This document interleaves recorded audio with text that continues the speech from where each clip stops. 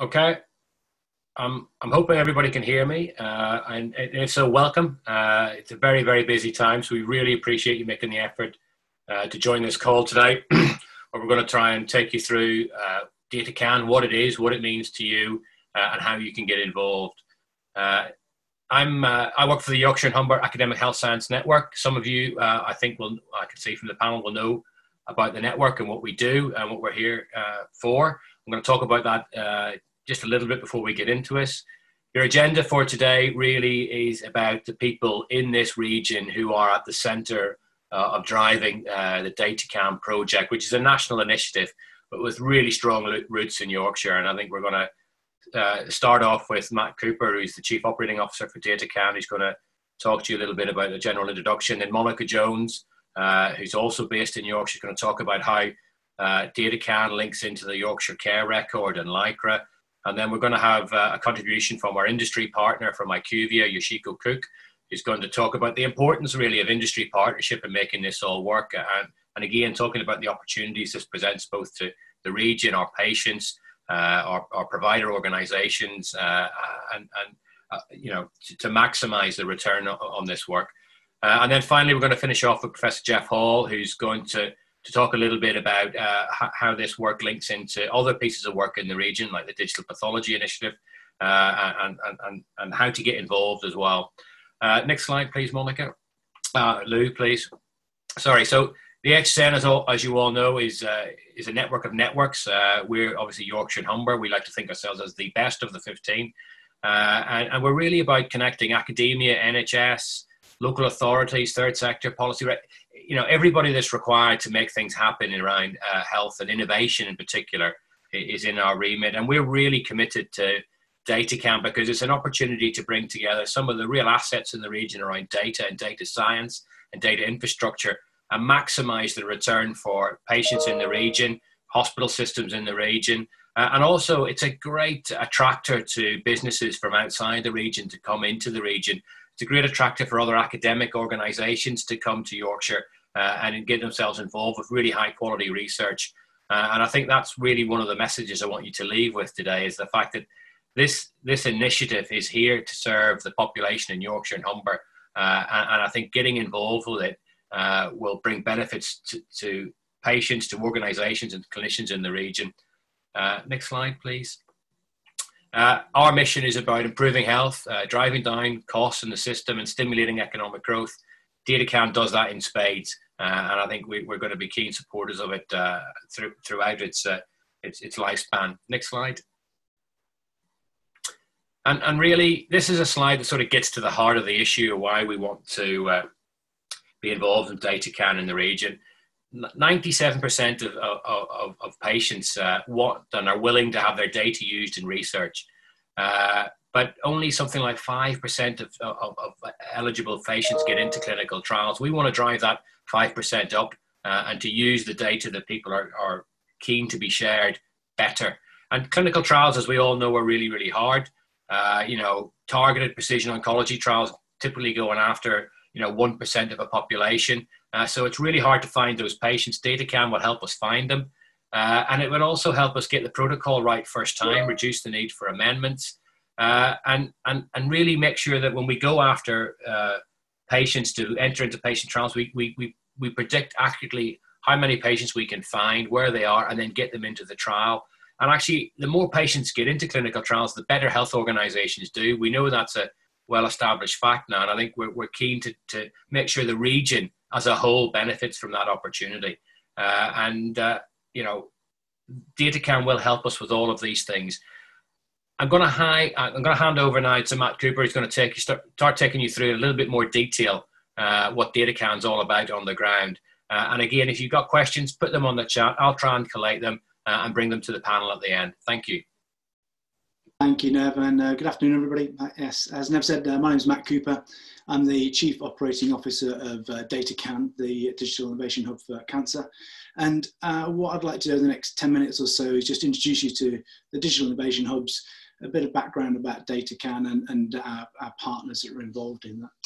So this all sort of started really back in uh, the autumn of 2017 with the Life Sciences industrial strategy that was written by Sir John Bell for the UK government and, set out a number of recommendations uh, for the life sciences sector being key to UK PLC, both in terms of the economy, it's worth around about 31 billion pounds a year to the UK economy, job creation, but also for the promotion of the, the great innovation that's coming out of the uh, of UK the UK PLC. And the NHS is, is central to this, uh, and it's a, a, unique selling point for the, for the UK. In response to the strategy, the government produced uh, two sector deals, and, and data and the importance of health research data was, was key in, in, in both of those uh, strategies.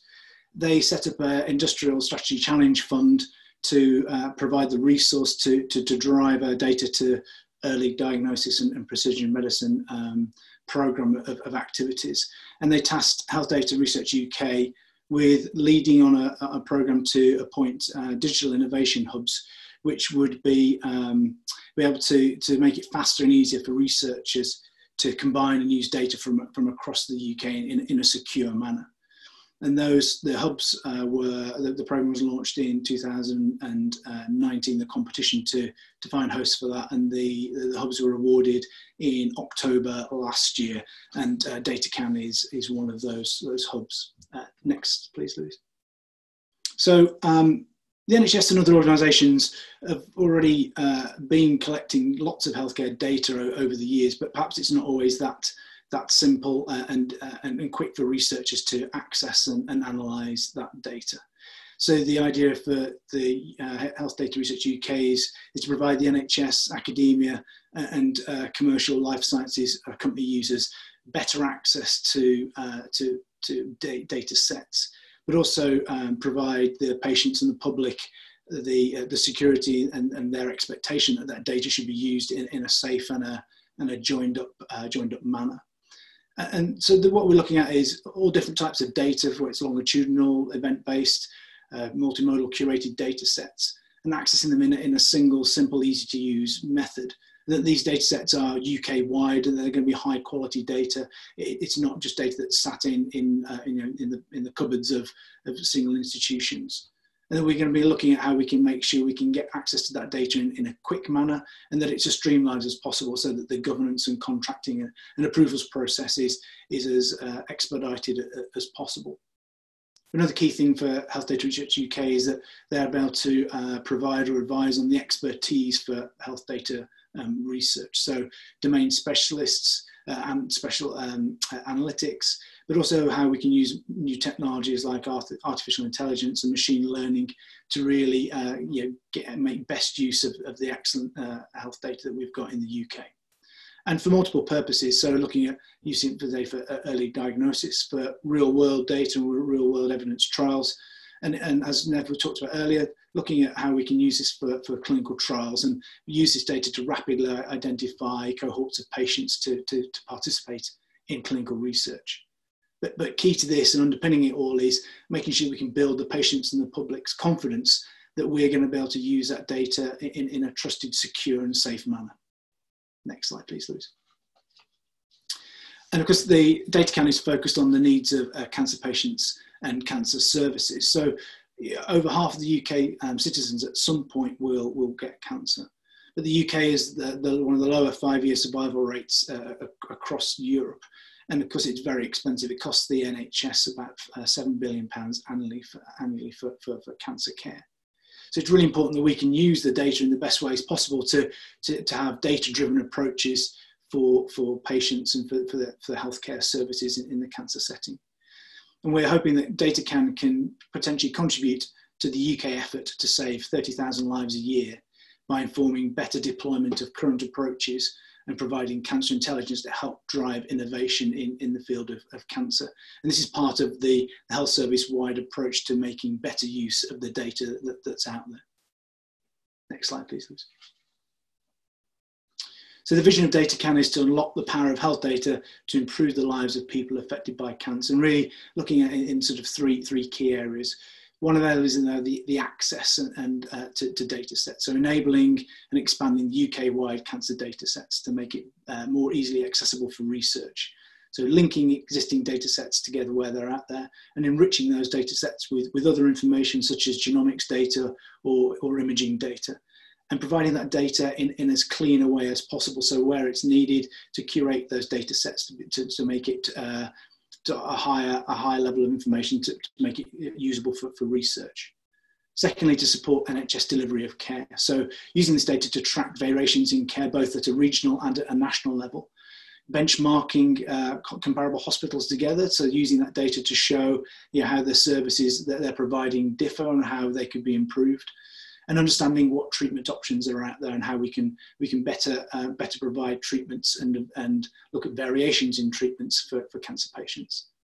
And thirdly, as a recurring theme here, looking at supporting clinical trial design, site selection, and patient recruitment. So using NHS data to, to look at those feasibility um, uh, surveys for, for clinical trials and seeing how we can use national data sets to enable patients to take part in, in more trials than they have done uh, previously.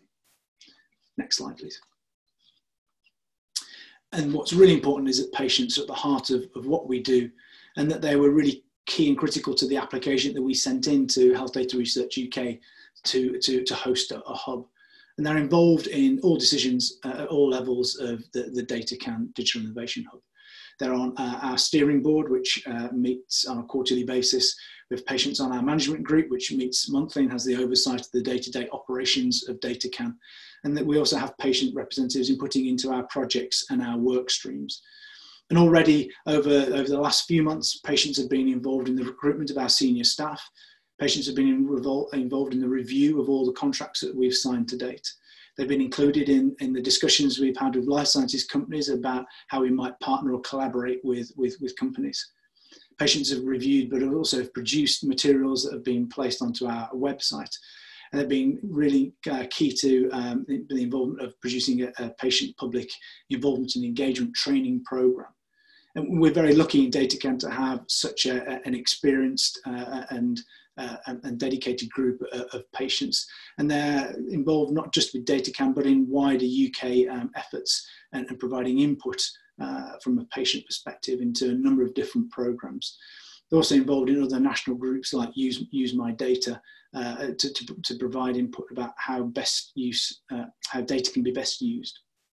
Next slide, please. And DataCan is a, a, a UK-wide organisation. We, are going to work across all, all four nations of the UK. And we're a unique partnership of NHS organisations, uh, patients, uh, charities and, uh, uh, and academia. And uh, as I said, we, we also have a, commercial partner as well. And we're um, uh, hosted by UCL Partners, which is based in London, but they're closely linked into the, the One London network. We've got Queen's University Belfast, who represent Northern Ireland and Wales. We've got the University of Leeds and, Le and Leeds University uh, and Leeds Teaching Hospitals NHS Trust on behalf of the Yorkshire and Humber region as part of our partnership as well. We have Genomics England, and we have IQVIA as our, uh, our, our commercial partner, and IQVIA, the human uh, data science company. And our partners are also involved and aligned with Health Data Research UK centres in, in, in, the country. So there's the Health Data Research UK centre in London at, at, UCL. There's the recently uh, designated Northern uh, Centre, uh, which uh, Leeds is part of, uh, and the Yorkshire Humber region and there's also uh, the, the centre across Northern Ireland and, and, Wales.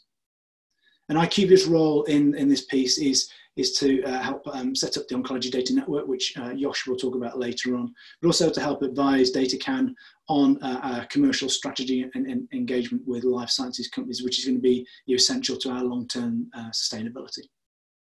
Next slide, please.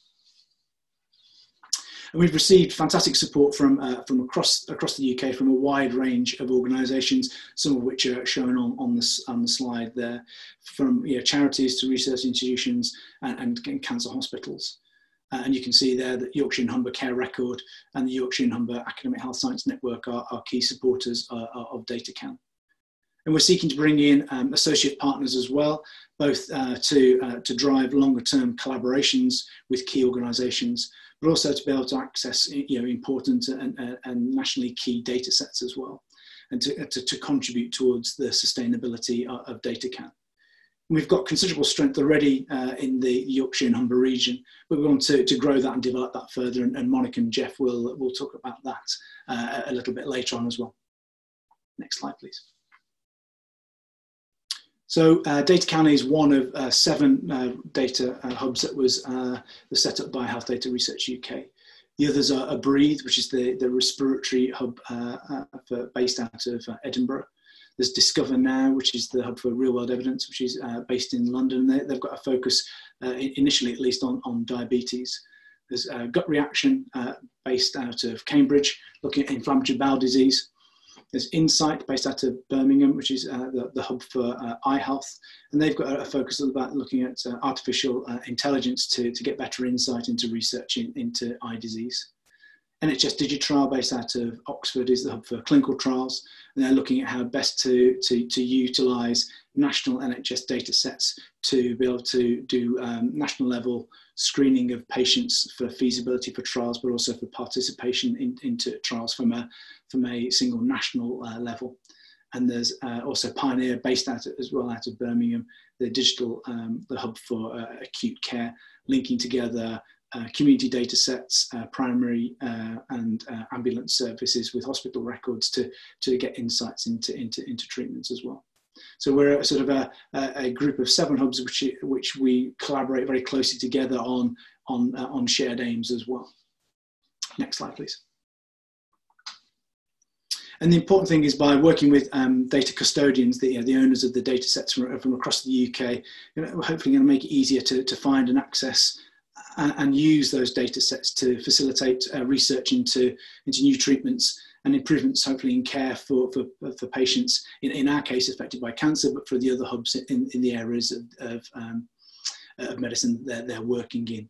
And, and, we really want to make sure that by um, working with uh, patients and the public and health professionals, we can ensure that um, the data sets that's being uh, accessed and used for research is, is being used transparently and that it's being used responsibly and that the, the benefits are, are returned back to the NHS and to, to the wider UK. So both for, for researchers enabling faster and more accurate uh, data uh, for, for, clinicians and, and, patients, making sure we can get um, know, new diagnostics, new medicines and treatments quicker for, for companies, both large and small, enabling them to, to deploy their new innovations into, into the NHS and, and for the wider society to, to improve uh, health services, you know, um, the creating jobs and, and generate increased investment into, into UK PLC, which is going to be uh, really critical in, in the, in the coming years.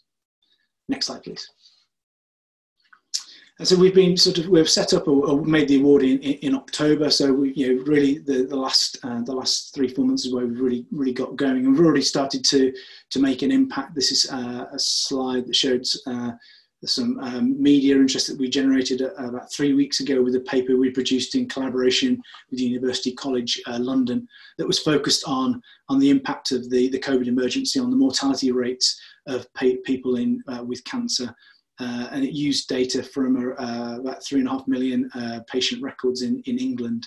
And, and the modelling that we produced showed that the, um, the, the, effects of the COVID 19 uh, uh, pandemic on, on the cancer populations. Prior to, to the, the COVID uh, pandemic, around about 31,000 newly diagnosed cancer patients would, would die in, in each year but we've modelled that uh, because of the, the effects of uh, COVID on the cancer populations and uh, on the cancer services, we could see that around about um, 6,000 additional deaths could occur in newly diagnosed uh, cancer patients, and that that could actually rise to around about 18,000 additional deaths if all people currently living with cancer are considered. We also used local uh, data from our connections with uh, NHS uh, cancer centres around the country to look at um, the, uh, the weekly data coming from, from their centres for um, urgent referrals from GPs and found that there was a decrease in about 76% of urgent referrals from GPs with, uh, for patients with suspected uh, cancers and about a 60% decrease uh, in chemotherapy appointments for cancer patients um, compared to the pre-COVID uh, uh, levels. And that's going to have really important effects on both the, the um, redesign of services once uh, when they're coming back into play in whatever the, the new normal looks like but also in prioritizing patients as, as they, those services get up and running because patients may have had uh, you know, delayed diagnosis now or may, may now be presenting with you know, later stage uh, cancers. So we've you know, already made, uh, made an impact uh, using data from across the UK, but also with the, the contributions from, from the Yorkshire and Humber region. Uh, next slide. So hopefully in the last 10 minutes I've been able to describe a bit to you about what DataCan is up to uh, and how we want to work and I'll hand over to my colleagues. Thank you very much.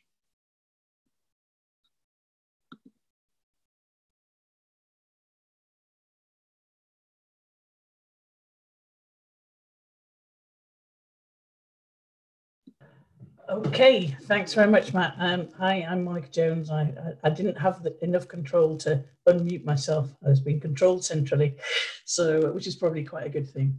Um, so anyway, um, over the next 15 minutes, um, I'm just going to take you through specifically sort of focusing on the local healthcare record exemplars and the Yorkshire and Humber care record, uh, of which a number of people on the call uh, will be intimately uh, uh aware of, but it, actually this is looking at it through a DataCan sort of lens. So I'm the Chief Data Officer for DataCan.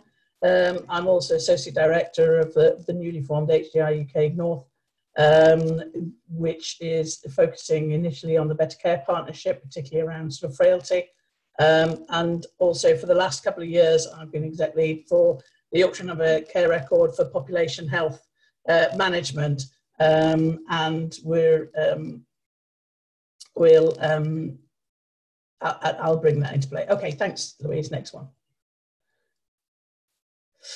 So um, Matt explained very comprehensively there the sort of the background of the um, of, of DataCan um, and, and in particular sort of uh, around where we fit in. What I want to do uh, with this slide really is just sort of say where we fit into the to the ecosystem uh, that are the digital innovation hubs. So um, we um, sit really in the middle, acting as a broker between the NHS, um, HDR UK Research Alliance, which are predominantly NHS organisations, but other national organisations such as, uh, as, as, charity and, and specialty specific component parts.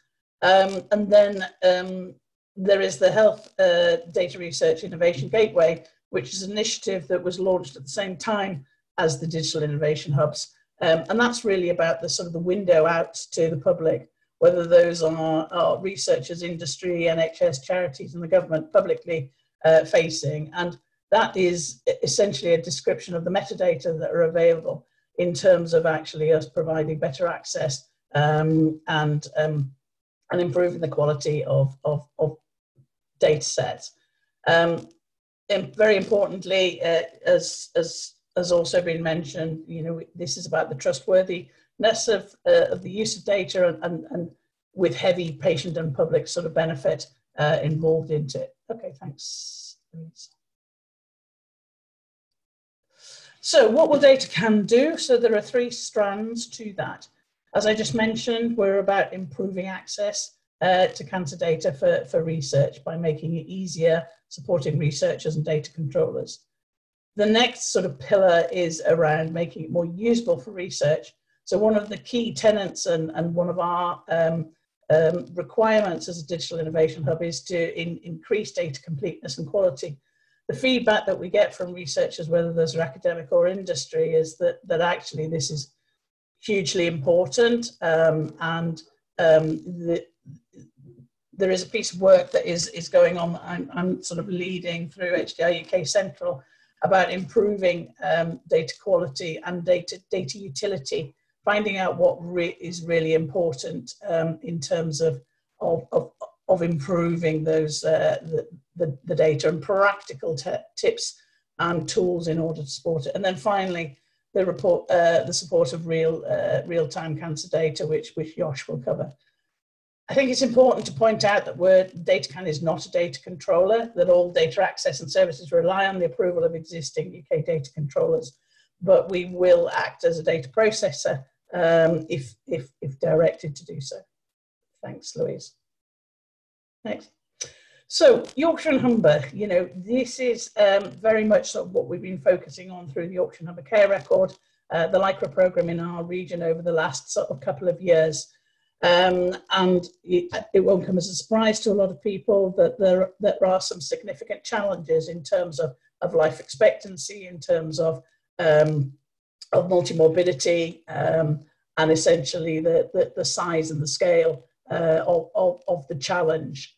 Um, and so we essentially you know, want to be able to, to focus in on that. And from the YHCR perspective, we chose two key themes um, that were, um, were our priorities, and that was cancer and urgent care. So it wasn't a coincidence that essentially our bid to become uh, a digital innovation hub sort of started in, in, in, Yorkshire and Humber and then sort of extended to a, a national um, uh, uh, initiative. Um, and, and, and therefore we're sort of building on the infrastructure uh, of, of what we've already sort of delivered through that central NHS England funding. Next. Um, and so shaping the future, you know, what have we delivered sort of already and what are we, we doing? Um, the underpinning principle um, is really about that connectivity through our system systems and integrated care records. Um, bringing together sort of information um, and to improve connectivity, to make better decision making, to reduce test redu- duplication, which are all the things that um, that, that patients uh, find you know very frustrating and clinicians do as well. Um, and so, therefore, in terms of a sort of a um, being able to look at uh, at um, the sort of health and, and, and social care system as a whole is really important. So, if a patient is is diagnosed with cancer in, in Rotherham, gets a referral from their GP to the, uh, the Rotherham Foundation Trust. They will probably then get a referral, um, a tertiary referral to, to Sheffield. Potentially, if there is a, um, a, a, a, more complex sort of case, then they'll, they'll get a further referral maybe to Leeds. And so it's important that the oncologist in Leeds can actually see the, the records and the connectivity all the way through the system and that the patient and the carers um, and the GP can also get access to that in real time um, at, um, uh, as, is, as is needed to improve outcomes. Next. So what is population health management? Um, there are many people who have many definitions. A, a, number of you will have seen this before and you'll be able to watch the video uh, on the link there at your leisure afterwards. But I just wanted to sort of raise these, these three sort of points that it's about recognizing that health and well-being is more than just about being without disease. It also moves away from managing disease in silos to an approach based on defined populations who, met, who have many multiple disease conditions.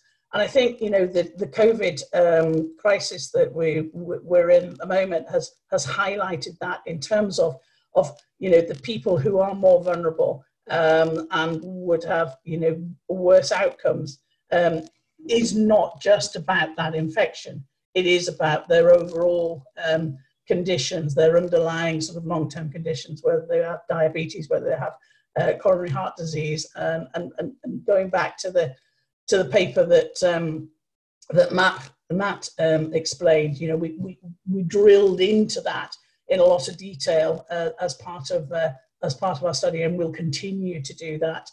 Um, and then finally, I think sort of it's recognizing that population health management hinges heavily on the use of new technologies and richer information. So we've built a cloud-based Yorkshire and Humber data arc um, that actually will allow us to, to get both um, event-driven data, but also sort of batch load of existing um, rich data sets in, in order to, to, to be able to do proper population health management through defining the population, identifying those care gaps by doing sort of clever um, analytics to stratify the risks, uh, which classically we've really only concentrated on avoiding hospital admissions, but actually using predictive analytics and machine learning and AI, then actually we can do much better things to then engage with the patients, manage their care, look at new models of care and measure that outcome, and then it is an iterative process. Next.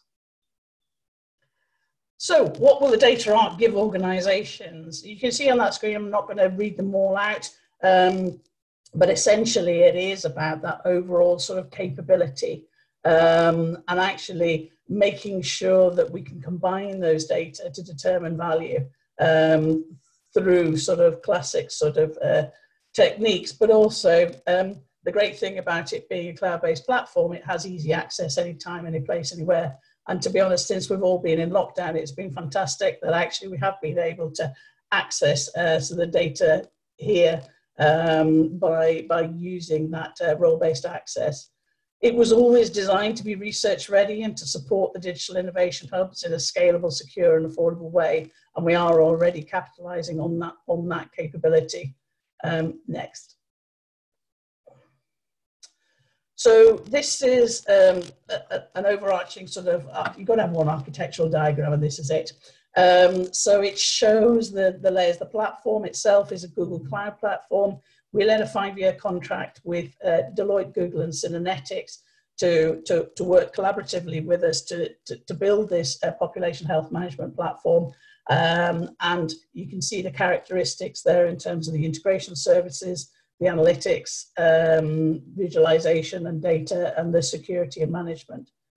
Um, the next layer is, is, is a suite of products um, and we focused uh, on the use case as we were building this of living with and beyond cancer.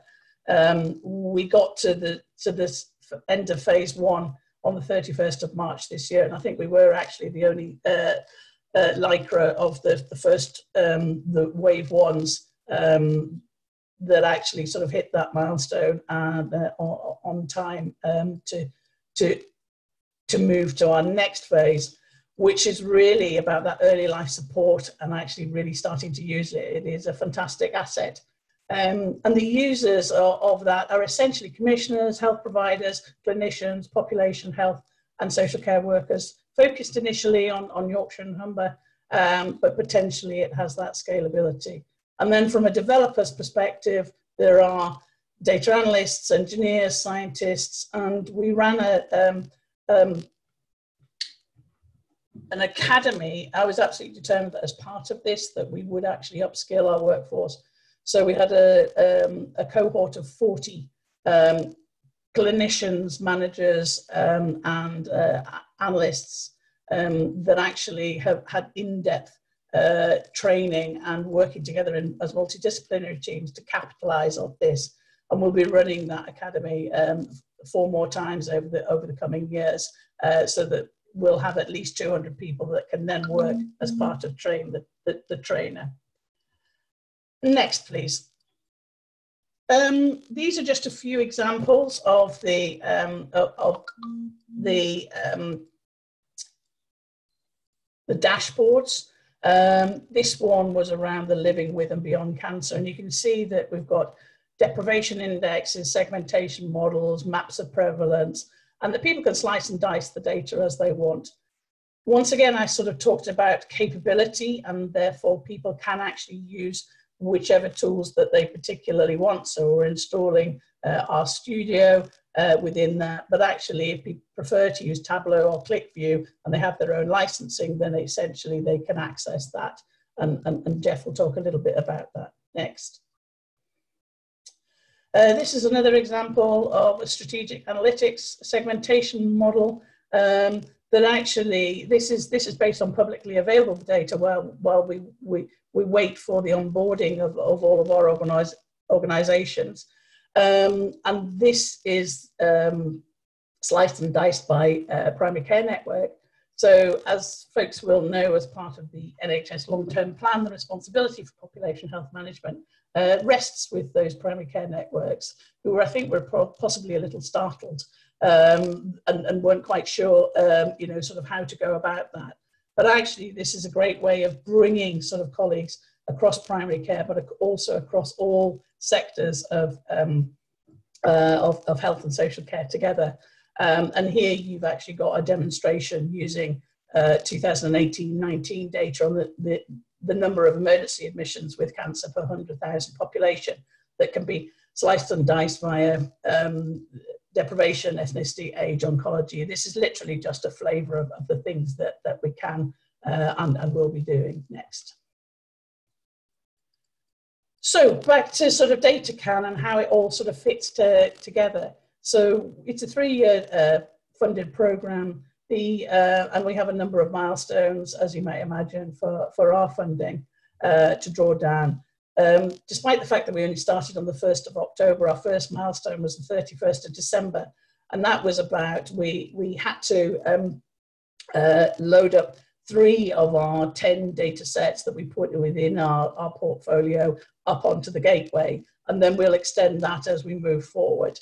Um, and, uh, and we will build that and we will publish and with the intention that by the end of year three, um, we become a self-sustaining organization. Um, so that's sort of the, the plan next. This is just a summary of those first three data sets.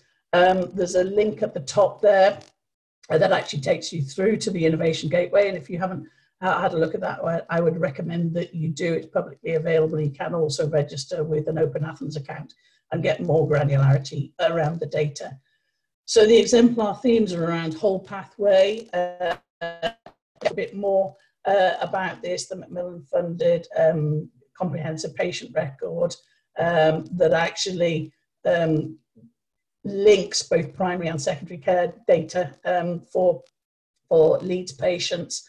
Um, and then there we covered population specific exemplars uh, both in, in London and in Yorkshire uh, around paediatric cancer. Um, and you can see the details there. And novel data sources, of course, uh, Genomics England are, are one of our founding partners, and therefore we, as part of that uh, partnership, we um, uh, gained access to the um, to the 100,000 100, genome. That's my timer saying number 15 minutes. My uh, 100,000 genomes, and that is also linked to HES and to NCRAS data. So very powerful, very rich um, um, data sources. Next. Uh, and finally, sort of why is, is, is measuring data quality important? Um, and, and, and there, there are a number of reasons, both in terms of the platform, the data, and the research, but it's really about utility uh, to inform future research efforts and then to actually, so that you can take away the pressure on the research themselves of having to do the data wrangling, that actually it is, you know, it's, it, it's, you know, good quality in means good quality out. You need standards in order to be able to do that. So compliance with SNOMED CT, with FHIR, with, with international standards and, then using uh, that in an appropriate way means that you, you get good, good quality output next.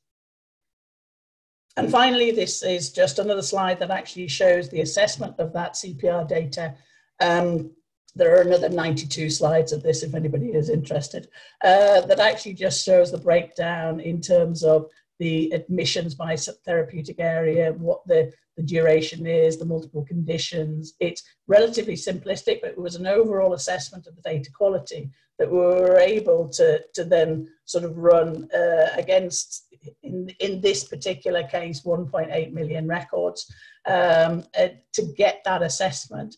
And fairly soon through the, uh, through the gateway, there will be a data quality sort of um, assessment against all of the 440 data sets that are on there um, that actually sort of gives an extra level of confidence um, for people who are requesting access uh, through the system. So that's all I wanted to say. Um, Yorkshire and Humber is at the heart of this. Um, DataCan you know, is a fantastic initiative. I'm delighted to be to be a part of it uh, and delighted to be able to, to, to share what, what we're doing um, with you all today. And I think I'll hand over to Geoff, or is it Yosh? Hello, it's me. Sorry. And then Geoff. Hello, everyone. Thank you. Uh, um, thank you for joining. And and um, I'm going to talk a little bit about uh, IQVIA and, and the ODN. So my name is Yosh Cook. I am the program director for DataCan within IQVIA, as well as the head of the Oncology Data Network, or ODN, um, within the UK. Um, the ODN is uh, IQVIA's predominant contribution to the hub, and essentially what it does is uh, aims to improve the treatment of patients with cancer through providing clinicians within our member trusts with real world evidence, and I'll talk a little bit about how we do that, as well as improving the opportunities for those patients to participate in recruiting clinical trials. Um, so, as I said, I'm going to talk about ODN, but first I want to talk a little bit about IQVIA. Um, and you can see a number of kind of different uh, um, graphics on, on, this page. IQVIA works within uh, and across many different areas of life sciences. Within the UK specifically, we employ over 5,000 people across these, these areas that you see. I'll just take you through very high level uh, a little bit about each of them. So starting on the left, um, in Scotland, actually, we have a very large state of the art laboratory that processes over 9 million tests per year from across Europe, and they range from kind of bioanalysis, vaccine tests, through to full genomic sequencing. We're also the largest provider of commercial clinical trials. Uh, so those are trials with a commercial sponsor within the UK, and that um, allows us to have uh, over 7,000 patients enrolled onto our trials. And that's spread right across the UK. And to support that, we have four what we call prime sites or kind of hubs, if you like, across the UK um, that conduct the highest amount of trials. Um, being uh, UCL Partners, who, uh, as you will have heard, is also a DataCan um, founding partner the Peninsula, Scotland, and most recently launched and opened last year is Northern England, Northern Prime Site, which covers this area, so Leeds, Sheffield, as well as Greater Manchester. Um, IQVIA is also a, a leading real world evidence service provider. Uh, we have around 300 data scientists working on both UK and also international projects using non identifiable patient data for a variety of research purposes to support companies pre-launch as well as post-launch. Our healthcare business directly supports the NHS um, through providing a variety of services such as benchmarking, patient level costing. Uh, we also support with clinical coding and technologies that enable uh, trusts to manage and monitor patient experience our information offerings business is, if you like, the traditional IMS health business, if you've come across that. And it provides a prescription, largely prescription audit data from um, huge amounts of, of uh, care settings. So around 85% of retail pharmacies, so community pharmacies, as well as all NHS acute trusts, the hospital sector. And this obviously amounts to a very significant um, amount of data, is generated every single year on the movement of pharmaceutical products and dispensing trends uh, across the UK. We're able to use that to support our commercial services business that essentially uh, support commercial companies, and by commercial companies, I mean pharmaceutical, the large, mid-sized and small, um, biotech, small uh, startups as well, with a variety of commercialization activities from um, market access all the way through uh, pre-launch through to genericization. We also have a large um, sales and uh, contract sales and medical solutions team and provide a number of experienced professionals um, to, directly to commercial companies and they can be medical sales liaisons through to nursing staff. Um, IQVIA also support companies with their technologies uh, across all of this, but specifically used for commercial purposes. So for example, um, uh, making sure that we can support with consistent healthcare um, uh, professional customer management. So whilst I've kind of very briefly described um, eight, if you like, distinct groups, um, in actual fact, our teams work across multiple different areas. And the ODN team specifically, which I'll talk about in a moment, works across the clinical trial sector, the real world evidence sector, and the healthcare sector with very clear um, privacy protecting technology at, at, the heart of it. So I hope that's kind of given a, a slightly broader perspective of who IQVIA are um, and, and uh, provides a bit of context around our involvement around wider initiatives such as DataCan. As a, a bit of a side note, um, as you may well expect, given that explanation of the, the company, we have mobilized um, parts of our business and capabilities to, to support the government in the COVID 19 pandemic. So we're collaborating with the UK government to provide um, a single national trial platform, which will hopefully accelerate research on medicines um, that we hope can treat COVID 19 patients. And also, we support population testing, um, working with the Department of Health, uh, really kind of leveraging a lot of our, our nursing capabilities. Next slide, please, Louise. Thank you. So given all of that, IQVIA obviously are very excited and proud to be a founding partner within DataCan. Um, I should add that it, it, was a requirement of the HDR UK bid that there was a commercial partner in each of the hubs, and IQVIA was chosen, as I've explained. Um, we have a very strong track record, UK and global, um, around our clinical and real world studies, but also our strong reputation in terms of um, uh, a leader in protecting individual patient privacy. And as, as you will hear from everyone today, um, patients are really at the center of everything that we are trying to do. And we really believe that it is possible for um, commercial uh, access to health data to be appropriate, ethical, and importantly, provide fair value back to the NHS, to patients, and also to the UK economy. Um, I do also want to stress that IQVIA do not receive any exclusivity, um, any privileged or special rights to the data. We have no preferential access to data, nor do we see, receive any grant money. Ultimately, our involvement is really because we want to help advance the appropriate use of, um, of data to be able to bring findings through them um, that will enable kind of better treatments for, for cancer patients. So IQVIA's put a lot of investment obviously behind this. We see the acceleration of the delivery of the ODN um, structure, uh, infrastructure, sorry, so that trust can really benefit from this increased secure data flow. And the activities of DataCan, we hope, will lead to an increased amount of oncology research within the UK.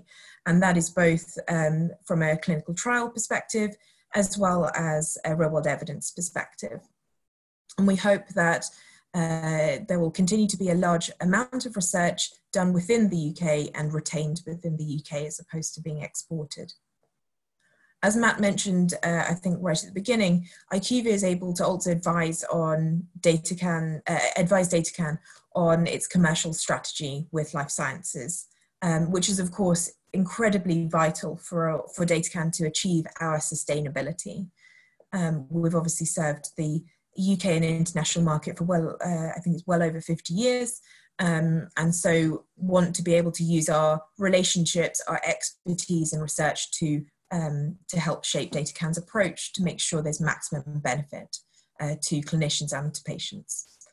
And lastly, as it says, we do want to continue to grow our reputation um, and provide demonstrable value back to the NHS and importantly, fair value to the NHS.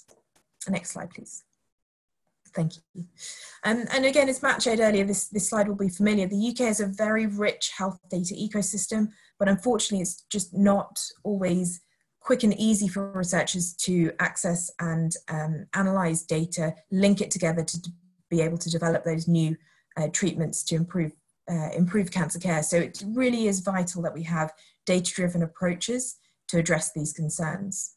So where does ODN really fit in with the DataCan priorities? Um, Louise, if you could just click on the animation. Um, thank you. The ODN very clearly supports two of the priorities here. Firstly, it supports with the NHS delivery of care. So that's tracking um, unwarranted variation in care, benchmarking across comparable hospitals, enabling clinicians a better understanding of the clinical reality of, of their patient treatment. And secondly, as you can see in the blue, we also are able to support clinical um, study design, site selection, patient recruitment, all of these things that will hopefully help shift some of the statistics that Nev mentioned right at the beginning. Next slide, please. Thank you. Um, so the ODN really enables a, a, quite a nice ecosystem, if you like, between uh, healthcare and life sciences. It's a solution that has um, minimal impact really uh, and is designed to have minimal impact on existing clinical workflow. And we work towards a solution that allows for much lower data latency as well as a broader data supply. Um, what we do is we provide analytics back to you in the trusts, which will allow you to quantify patient cohorts, but also really understand, as I said before, the unwarranted variation in care that you may see and enable you to really see quite quickly um, the clinical reality of your patient's treatment. In addition, trusts um, can uh, identify potential participants for recruiting trials. I should also stress that um, IQVIA cannot see the patient identifiable information that is very much for the clinician to make those, uh, those clinical deci um, decisions. Next slide, please. Thank you. Um, so here you can see how do trusts really benefit um, from becoming a member of the ODN. The ODN um, provides insight into hospitals on your own oncology data. The analytics cover benchmarking at the national level, region, or within hospitals that wish to share your information. Um, our current solution allows for structured data sets to be returned back into your hospital within accessible and interactive dashboards, excuse me, um, quite quickly and certainly within weeks of submission which means that your, you, yourself on the call and your fellow clinicians can actually see the data of patients that you have recently seen, not see data of patients that you may have seen, let's say, months or, or over a year ago. And on the right there, you can see in development is our clinical trial solution, which really allows you to increase the amount of trials um, matched to potential participants within your hospital on much more of a routine systematic basis. Uh, and this really supports clinicians to offer opportunities as appropriate, and we leave that decision to the clinician, um, to their patients. And obviously, um, uh, the, the, benefit of clinical trials, uh, increased amount of clinical trials being predominantly around better patient outcomes. So for that patient, uh, they're able to benefit from a wider variety of patient of treatment options. But in addition, the financial benefit from the cost savings, having the uh, patient care and treatment being paid for by the trial company. Next slide, please. Thank you. Um, so Nev shared this slide before. I'm not going to go through the statistics, but I thought it, was worth kind of flagging up again.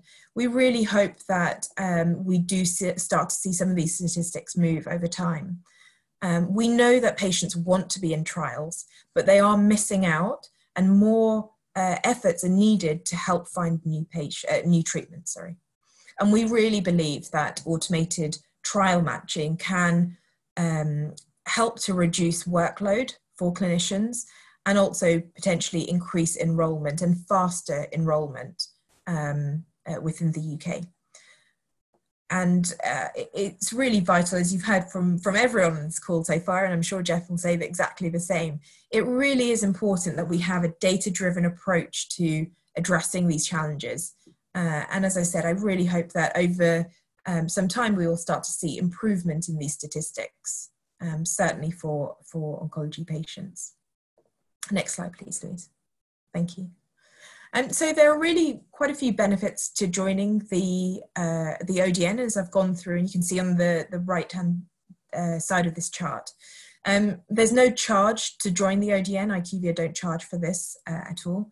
And our teams um, work closely with you so that you can maximize really the benefit and the value of the network to your individual center.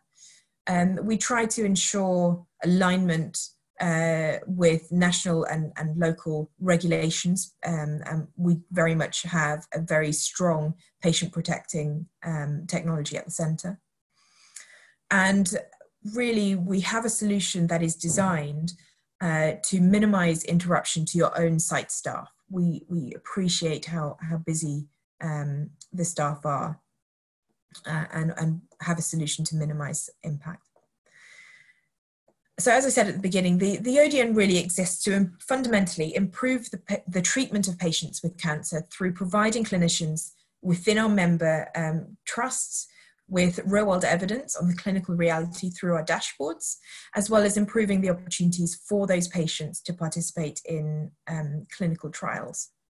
And uh, we're really proud of this. It's an integral part of uh, DataCan activities and uh, we we hope one step towards your trust um, represented on the call here today being really part of of DataCan and, and the National Hub for Cancer. Um, so thank you very much for your time, and I'll hand over to Geoff. Uh, thank you very much, Yosh. Um, so uh, I'm Geoff Hall.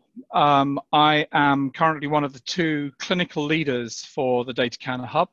Uh, I have a day job, which is uh, as a medical oncologist. I treat women with gynecological cancer, from Leeds and across Yorkshire. Um, but I've also had a very long-standing interest in um, health data and digital approaches to care, and I'm one of the chief clinical information officers with a particular focus on the R&I uh, agenda within uh, that department. And as an academic at the University of Leeds, I'm a professor of digital health and cancer medicine at the University of Leeds. So my next slide. This is the overarching strategy for Health Data Research UK. I, I, would guide anyone who's particularly interested to read the, the One Institute strategy, but in brief, I think there's a single sentence that, that matches my own personal view. And that is the fact that we are increasingly obliged, uh, rather than this being optional, but we are now obliged to use the large scale data and advanced analysis that modern computers can provide to benefit every single patient interaction and to enhance the recruitment to clinical trials and to support new biomedical discovery to overall enhance patient and public health. And, and that's an ambition that I was really happy to sign up to. So on my next slide. And I know the audience who's joined us today is, is very aware of the fact that, um, that the UK collects a large amount of cancer data. So every individual trust in the country collects data on uh, urgent referrals, the cancer outcome services data set, a very comprehensive data set with enormous detail about every cancer patient, both at diagnosis and through recurrence, the SACT data, which collects information on chemotherapy, specific information to radiotherapy, and that is fantastic. But I guess my cynic's view is there's a slightly hole, a black hole approach to that, where data gets sucked out of trusts and gets absorbed into the black hole at, at the center of NHS England, um, and also has some other problems for me. So I think that there's inconsistent data models throughout those data sets. So I know the definition of date of diagnosis is not the same for all of those. And, and when you see the data at the other end, the, the quality of the data that is collected is variable. And many trusts don't collect the whole thing, so the completeness of data is variable. And I guess one of my long-standing concerns has been that we only use a very small percentage of the data that's available to us. So in Leeds, we've estimated that we we send about 5% of the data that uh, is within our record. Uh, and what constitutes the rest of the record? Well, we continue to generate vast amounts of plain text, the letters, the annotations, the reports, that create the narrative that truly describes the care given to cancer patients. But also the, the new data sources that are amenable to computational analysis. So um, we have all had for many years digital radiology. So our PACS systems collects radiology in, in computer accessible form. But we've also now started to digitize the pathology of our patients and make that data available. And of course, we now also have access to the data that comes from single gene genetic analysis, but also increasingly whole genome analysis. Next slide, please. So what's DataCan here to do? Well, once again, I'm, I'm not going to apologize for stressing that it, essentially we're here to improve access to that existing data. We want to make it easier to find and we want to make it easier to use. And the particular reason we're there is to just help everybody use that data. We want to facilitate new research and across the breadth of the cancer journey. So new diagnostics, new treatments, new pathways of care. And that is not a project that we are going to do. That's a project that everybody is going to do. And we are there to help and support everybody in delivering that. So our ambition is to support research groups within the NHS, within the academic sector, but also crucially within the, the commercial and the charitable uh, sector as well. And as Monica has described, we will make sure that very clear descriptions of available data sets are put onto the HDR UK hub. So those groups can see what data is available and choose which data set is best suited to the work they're proposing. We're also very keen to improve the quality of data. Now, there are two ways to improve the quality of data. We can all employ an ever larger army of data clerks to extract the data. Um, but of course, that is not sustainable. And what we have to do is start applying new technologies uh, to the data that we have. And so we're very fortunate within the DataCan Hub to have access to quite uh, a significant number of centers who have expertise in advanced computational analysis. So artificial intelligence, machine learning, the application of natural language processing. So we will work very closely with those, those computing centers of excellence to improve the quality of data that all of us can collect without increasing the costs to ourselves, both of time and of money. And what we'll very deliberately set out to do is, is to access those new data sets. So the genetic, the molecular phenotyping data, the imaging, the pathology. And I'm very keen that we also get data that is entered by patients. So this is patient entered data, the patient reported outcomes. And I'm very keen to link up data. At the moment, cancer data relies very much on cancer data provided by hospitals, but I'm looking to see whether we can extend that out to data that is captured in primary care, hospices, community care across the breadth of the cancer pathway. Next slide, please. So the really key thing that we're looking to do is make this data more real time. And that was an ambition we described last uh, summer and last October, but never has that come into sharper focus than on the work that we've done in the reaction to COVID-19. So as others have described, we worked with academics at the HDR UK Centre in London to begin to examine the impact that the COVID-19 pandemic was having on cancer patients. And there's two broad uh, aspects to the publication we generated. The first is a description of the impact of comorbidity and its potential to uh, impact uh, both cancer death, but also the impact of COVID-19 on cancer deaths. But then crucially, and the real world data piece of that work was to look at the impact of COVID-19 on cancer services. And what we did is we accessed data, two different types of data from a number of cancer centres across the UK. So the pathway into our hospitals, the two-week wait referrals, which is the data on the right-hand panel, and on the left-hand panel, chemotherapy activity.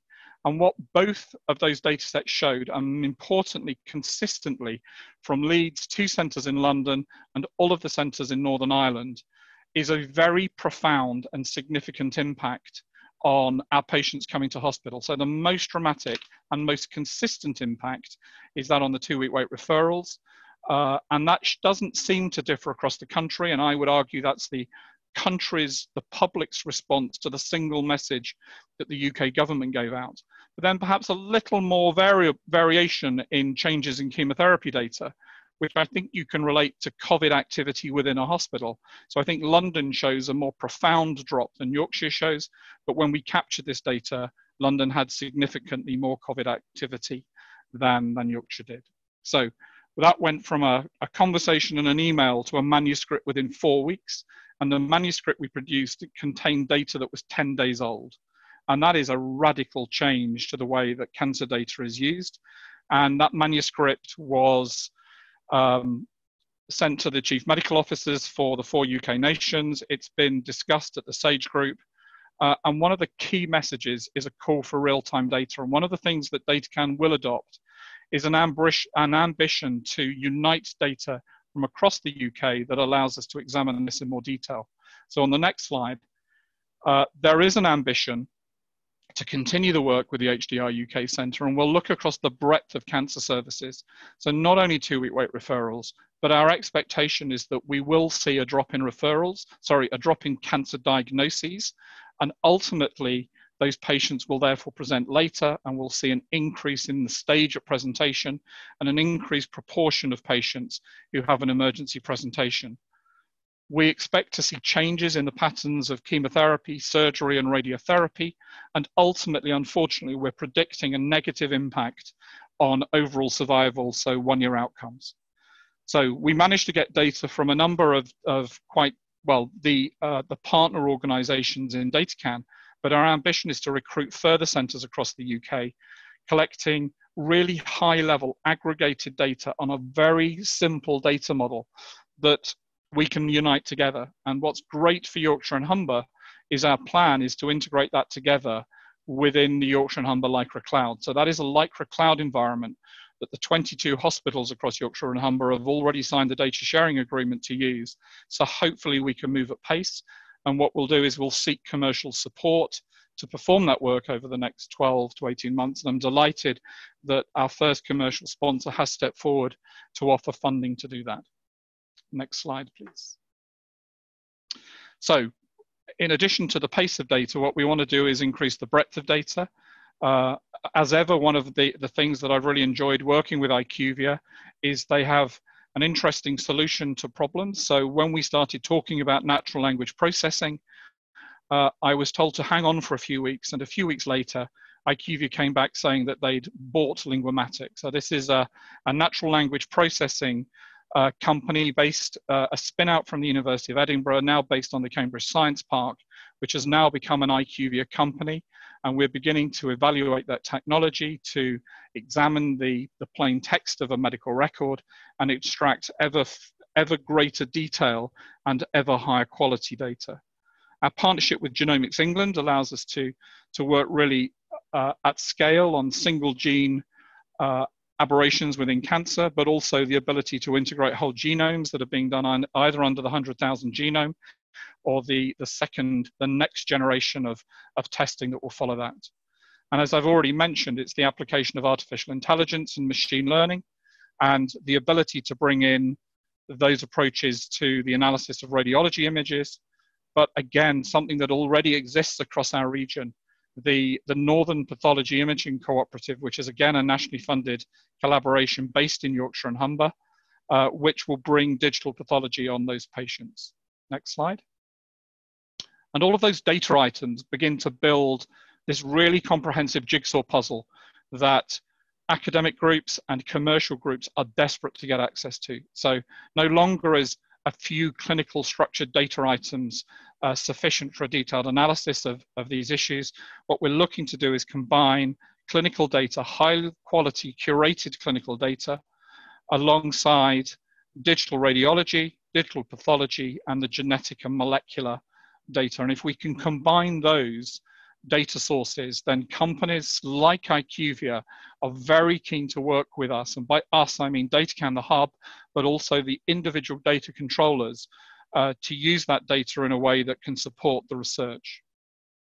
So um, what we as DataCan are absolutely passionate to ensure is that we ensure fair value. We can see the value to IQVIA of this, but what's important and is absolutely enshrined within that industrial life science strategy is that we ensure fair value at a number of levels. And, and the first is for the NHS PLC, nationally, the UK, the, the country as a whole. But also, it's really important that we can articulate and ensure delivery of fair value to trusts and to the commissioners. But ultimately, we have to make sure we ensure fair value to our patients and the public. Next slide.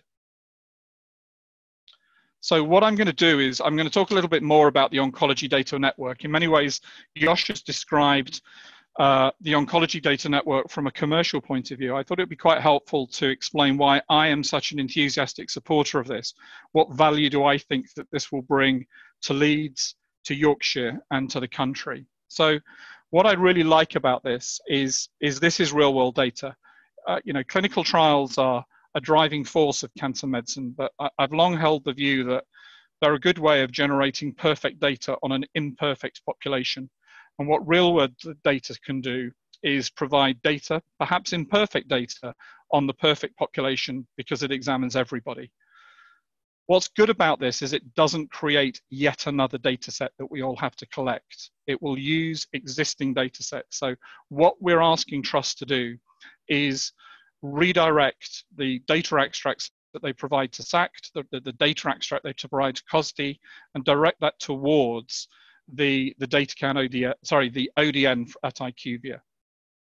By bringing that data together, by placing it within a very secure, trusted third-party environment, that allows a number of things to happen. And, and principally, what we will all benefit from is that a dashboard of analytics will be built by a commercial team but a dashboard of analytics that will be built by IQVIA but designed by clinicians.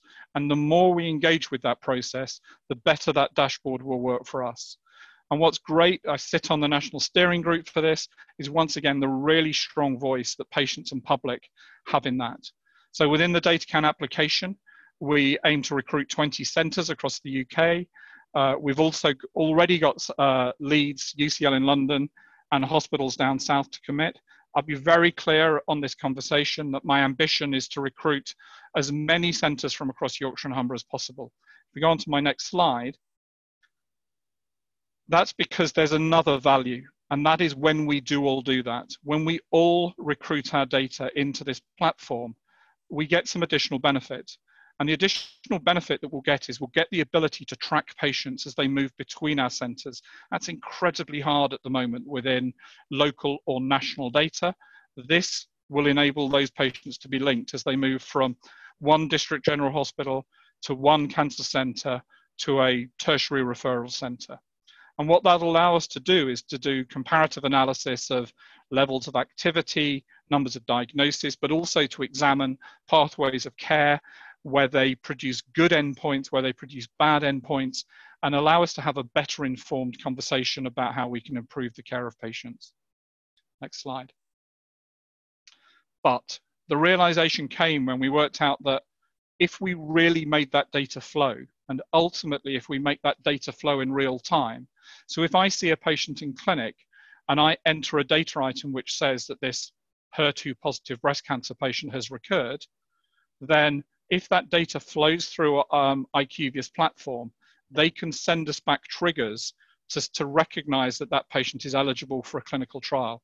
Now, they will not know who that individual patient is, but the system should be designed such that it can re-identify that patient as it comes back into the trust, and clinicians can then recognize clinical trials that are open and active in their own center, in regional centers, in national centers, and this is a network that will run across Europe. So theoretically, it provides access to clinical trial opportunities that exist for our patients across Europe. And our very clear ambition here is that we're going to increase clinical trial activity uh, and improve access for patients. And there's really good information and data that says that the more trials that you make available for patients, the better outcomes are achieved. Next slide. So what I wanted to talk about was a particular data set that we've made available as a Wave 1 data set, and it demonstrates this longitudinal record. And it's a piece of work that I've been performing with, with others in Leeds, a co-investigator, Pro, Professor Adam Glaser, who is one of the pediatric oncologists. And we set out a very simple ambition some years ago, uh, something we thought was very simple some years ago, to link hospital records to primary care records. So what we were aware was that cancer registries collected excellent data on patients of diagnosis, and they also captured patients of death, but they knew very little at that time about cancer recurrence. And although COSDI collects that data now, the data quality is not great.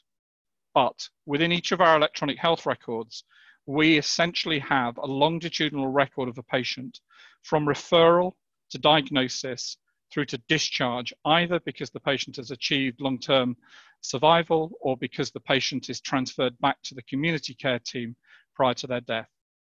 And what we realized is that by linking that to the primary care record, we actually had the ability to create a comprehensive patient record, a longitudinal record from birth to death. And that allows us to examine a number of things in detail.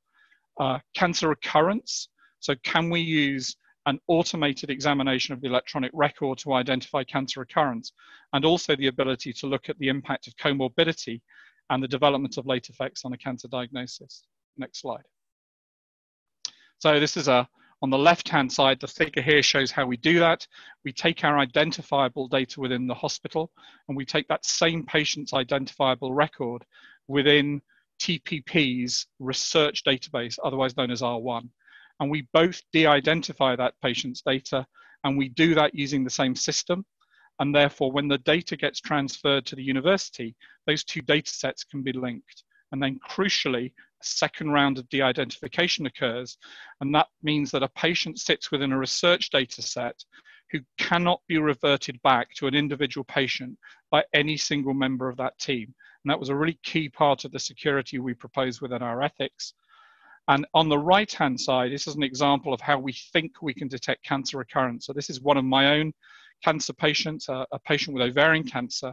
And what you see, all we're showing you here is the activity count, the number of events that happen in the electronic health record. And what you see are these spikes of activity, and those spikes of activity perfectly correlate with cancer recurrence, and they reflect the fact that on recurrence, patients get more blood tests, more scans, chemotherapy events, outpatient appointments, etc. Next slide. And then the second piece of work that we're doing here is the, the impact of comorbidity. So on the right-hand side, what we're looking at is the impact of diabetes. So in the middle is, is a graph with looking at the impact of diabetes on 350,000 cancer patients. And you can see the, the negative impact that diabetes is associated with in cancer patients. And at one level, that was a very much an expected result. But I guess what I was expecting less was the fact that that is not consistent across all cancers. So uh, cancer A here is lung cancer, and you can see there's essentially no impact of, of diabetes on lung cancer outcome. Whereas if you look at the impact of diabetes on melanoma outcome, then there's a very significant and very profound impact. Next slide. So what is my ambition for Yorkshire and Humber? Um, specifically with respect to this comprehensive patient record? Well, once again, like the ODN, can we extend that? We all collect uh, this COSDI data, and many of the hospitals in our region that are, are affiliated with GPs who use TPP software, and therefore patients within that are within their R1 database. So can we extend the Leeds Cancer Centre record linked to TPP's R1 to other hospitals? In addition to the COSDI extract, it is actually possible to ask for your data back from Public Health England. It's not straightforward, and I would be happy to guide any individual trust into doing that. But that would allow us to each link the public health extract of our data to the R1 data. But what I'm really looking for, I guess, are those very digitally mature hospitals who can do quite a granular data extraction. Okay, next slide. So I think this is my final slide. Um, what I hope we've all shown you this afternoon is the, the ambition uh, of DataCan, the, the HDR UK hub for cancer. And, you know, we've very specifically brought that to Yorkshire and Humber. This is one of our first events to, to showcase DataCan around the country. It reflects the very key involvement of Yorkshire and Humber in the development and delivery of that hub. And I guess what I'm trying to offer you, what we're all trying to offer you, is a number of ways to become involved. So the first thing I'd, I'd like all of the people on the call to, to reflect upon is whether they, their trusts, would be willing to contribute simple, high level, aggregated data to the COVID 19 oncology network that we're hoping to create. So, can we extend this information on two week waits, on cancer diagnoses? Can we examine as a country the impact that COVID 19 is having on cancer services across the UK? And can we share the learning that will come from that to guide the reconfiguration of our services? The Oncology Data Network, the offering from IQVIA. Uh, so, our trusts on this call willing to link their SACT and COSDI data. And if we can just go back a slide, uh, can we link the SACT and, and COSDI data from hospitals across the region? And then can we do this longitudinal record linking uh, data from each of the hospitals to GP records? But as a final point, the thing I want to stress is that in the same way that we're here to support clinical, academic, and commercial research across the whole country, that's very true for Yorkshire as well. So, how can we support your local project and program? Thank you.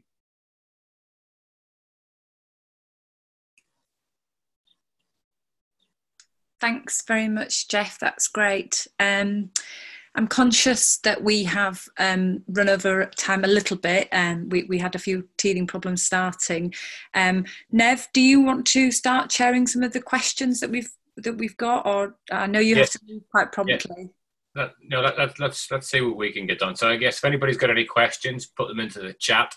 Uh, there's a few questions that surfaced uh, while we were pulling the meeting together that I'm going to fire out to get the conversation going. And I think that the first one, Matt, I think I'm going to direct towards you. And I think just, some facts and figures. So, what's the time period for the DataCan award and, and what's going to happen after uh, you know the award period?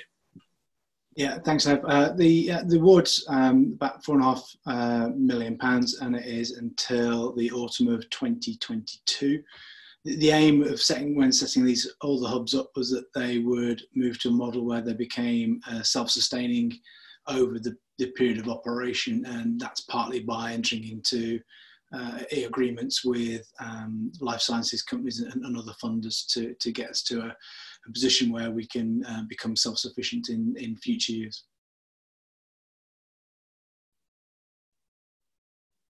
Thanks, Matt. That's that's useful. So I think DataCan's not just here for the short term. Hopefully, it's here uh, for much longer than that. And this is really about getting it built and getting it started. I think, isn't it? Indeed, yeah. Okay, that's great.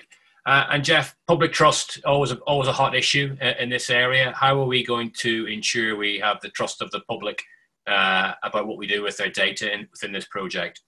So it's absolutely essential that we take the public with us on this. Um, I'm absolutely delighted that uh, we were able to recruit Chris Carrigan from Leeds to lead our PPIE work. Chris um, is at the very uh, head of the Use My Data national group, um, one of the, the key organizations that the government and Whitehall use to guide them on the use of patient data.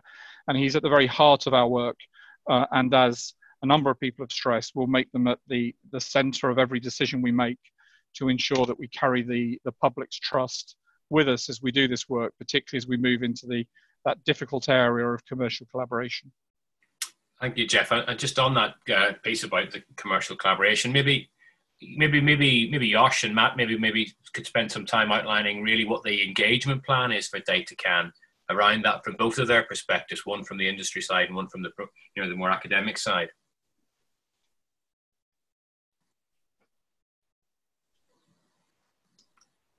You are on mute, guys. Sorry. Matt, would you want to start with um, board and then I'll, I'll talk specifically? Yeah, so I guess, yeah, so the, the, the aim is twofold for us is um, collaborations with life sciences companies, um, both in you know, short-term um, uh, pieces of research uh, where they're interested in a particular you know, individual question, uh, which we would undertake as a sort of a you know, service type of agreement. But also we're looking for longer term relationships with organisations as well in sort of associate partnership type of approach, where mm-hmm. we work with a, a company on a, on a longer term basis to to get them more engaged with what we're uh, you know, our aspirations are as a as a national national uh, group, uh, and to to link them in uh, with with what we're doing, and also potentially link them in with other companies that have got an interest in the same area. So you know, bring in um, and produce um, uh, consortiums of organisations in, interested in similar and similar areas. And in the in the academic setting, then very much working with with key uh, cancer organisations to to work with them on um, building data sets that they're, uh, they've got interest in, in around particular questions. Uh, and you know, we, we've shown what we can do in a relatively short space of time with uh, specific questions around the, the COVID-19 that, um, that we've mm. talked about uh, today. Thanks, Matt. And um, just to very quickly add, um, we obviously will be or are starting to engage with companies, both large and and small as well. It goes right from the kind of you know um, household name, so to speak, through to to much more of the kind of startup with one, maybe two uh, different therapies, and and this data is really interesting um, to not just companies that are based in the UK, but to international companies as well. Mm, mm. Thanks, guys. That's really helpful. And, and a question, I guess, that is in my mind as well. It's about fair value being returned to the NHS through DataCan. Geoff, and again, Yosh, uh, maybe we'd like to talk about that in a little bit more detail. I, I guess uh, there's a big ask here for organizations to spend time and effort contributing data maybe talk a little bit about you know what, what will be coming back to them uh, if they if they engage with this pro- program. Uh, I'm happy to kick off with that. So um, I have to say that's absolutely my um, my clear focus is to make sure that this is not a one-way process. So data is going to flow to IQVIA. It has enormous value to them. We should recognize that. We should clearly describe that to our patients and our public. But there's an enormous potential here to, to trusts uh, and to the NHS because IQVIA have expertise and will bring resource to the, uh, to the process that, that I have to say my organization just simply doesn't have um, without support from outside. So I think it, it it's absolutely something. It, it's a, it's something that we have made very clear to our patients and public that they need to challenge us at every point. And you know the the greatest uh, testament to the fact that we've got that right is that more and more trusts want to become part of it because mm-hmm. they see the value. Thanks, Geoff. Yeah, and, and just add kind of quite specifically on the ODN. Mm. Um, as, as Geoff mentioned earlier, we have a country advisory group. Geoff is, is one of our kind of lead clinicians on that. And we have a number of um, uh, patient representatives within that uh, that we continue to, we share our strategy, our priorities, we take guidance from them. Um, and that includes uh, around fair value. So as I said before, IQVIA don't charge hospitals to join the network. Um, we don't charge any license fee or any, you know, if you match a patient, we get a fee. It doesn't work like that. Mm-hmm. Um, we hope that through providing that information, a trust will benefit to improve their, uh, their, their kind of day-to-day clinical um, uh, treatment as well as open more opportunities up. We um, then want to, in a non-identified aggregate way, use that information that we can sell um, to other companies to do studies is a certain drug in the real world within a certain tumor type. So we can charge a fee for that, and that operates within the um, uh, Department of Health framework for value. Thanks. That's very, that's very helpful. And maybe just on that a little bit uh, more detail, really. Monica, maybe you could answer a question on sort of the legal basis for holding this data uh, and, and, where we are with that and what the considerations that you, we've already you've already taken in that respect. Yeah. Okay. Thanks very much, uh, Nev. Yeah. No. We obviously we take the information governance very, very seriously. Um, as I mentioned as part of my presentation, DataCan is not expecting to be a data controller, but um, where we're working sort of closely um, with um, uh, uh, for existing data sets that, as I described as part of our portfolio, they come with their own IG and, and, and ethics associated with it. And in, in a lot of cases, those are already linked and then anonymized uh, before being made um, more accessible. Um, specifically for some of the suggestions that Geoff uh, uh has, has, proposed, and, and, working very closely with the, the Yorkshire and Humber Care Record and, and, and, the, and the LICRA setup, um, we've worked very closely with NHSX and NHS Digital over the last few months to make sure that actually that we we have got all of that legal basis covered. Um, so our expectation is that we use the um, the national de-identification tool Privitar, um, and that requires legal direction from NHS England to provide that solution as as as, as part of that delivery function. That data processing agreements between NHS Digital in order to be that third third party processor on our behalf um, has that um, agreement with our with our lead uh, controller and in our case from the and Humber that is actually Humber Teaching uh, Foundation Trust and then the final thing is that actually for all the LICRAs that we're able to demonstrate that the, the common law uh, duty of confidentiality is, mm. is met with respect to secondary uses of data so there are essentially four way, only four reasons to set aside uh, the, the, the CLDC, and that's the public interest, uh, legal requirement, uh, Section 251, or explicit consent. So the approach that we're taking is is is uh, certainly in the short and to medium term is that there is a collaborative partnership um, and that we, uh, that we have Section 251 to uh, support via CAG and the Secretary of State um, to make sure that, that, that everything is covered. So, yeah, Excellent. that's uh, how we're dealing with it. Thanks, Monica. That's really useful and, and, some good detail there as well. I've got a question from one of uh, uh, our guests uh, from Lawrence. And the question is Will there be joint working between the different hubs, uh, for example, DataCan and the DigiTrials uh, digital innovation hubs. M- might that happen? Geoff, I guess maybe you could maybe answer that in first. Instance. Yeah, so so um, it's interesting that that specific link has been made. So uh, we have had uh, a meeting already with a commercial organisation, and three of the hubs uh, were invited to join that meeting because it was a, a group that was really interested in the use of real world data to guide clinical trials, particularly in cancer. Mm. And actually, those words describe three of the hubs. Mm. So the meeting did bring in um, the the DigiTrials from Oxford, the Real World from London, and the Cancer Hub from from across the UK to, to work together. The conversation felt found that actually it was much more the the cancer hub who could help and support that. Mm. But we will absolutely not hesitate to bring in the expertise of others. So some of the work that we've been doing on COVID-19 has actually been supporting the acute care hub who have been leading the very detailed work mm. on which you know predictive models of who does what on intensive care so yeah very much it's an individual hub but it's working together as a network and part of the larger hdr uk family okay that's fantastic look guys we're we're 10 minutes over our allotted time and i know we're all extremely busy i think all of us uh, the panel in particular be very happy to take any questions you want to to launch to us over email. Uh, I think sometimes that, that's not a bad way to uh, to follow up.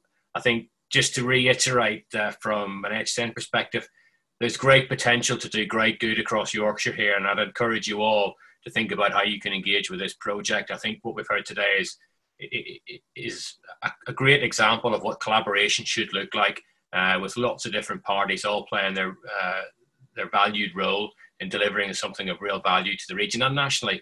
So I'd encourage you to, to reach out after this uh, this uh, this call uh, and, and, find out more and find out how you can work with the project. Uh, I think if there's no more questions, I'm going to thank all our speakers. There's no round of applause on Zoom, but take it from me, that was a very comprehensive presentation, and I think everybody will have appreciated. and and say thank you to all our attendees for joining, taking the time to join us. Uh, and again, please, please reach out and engage with us as we move further. Uh, so for me, it's thank you very much, uh, and I'm sure the same from our panelists.